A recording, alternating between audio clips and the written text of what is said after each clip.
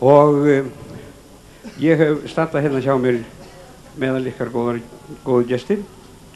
Gest sem að er alltaf að leika óskalög fyrir fólk um all land.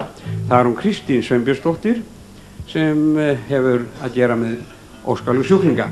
Og nú langar með helsubóna Kristínu hérna eins og þið sjáuði og spurja hvort hún vildi nú ekki óska sér eins lags núna. Mjög gæðan.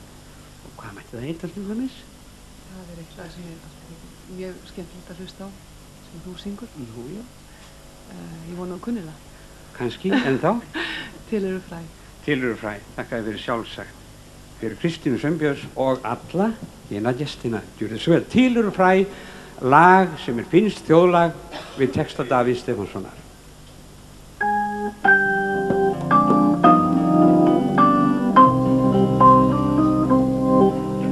Til eru fræ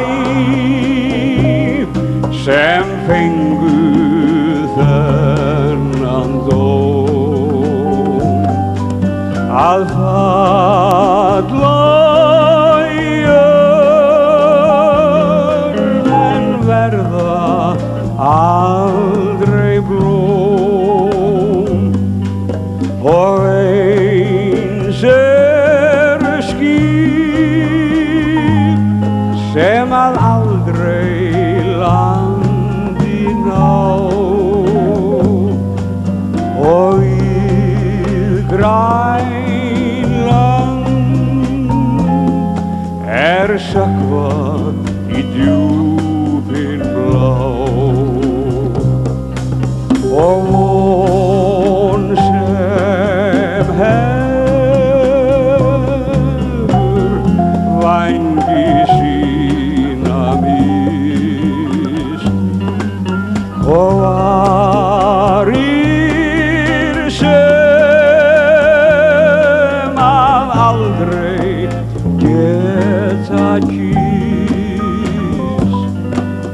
og elskendur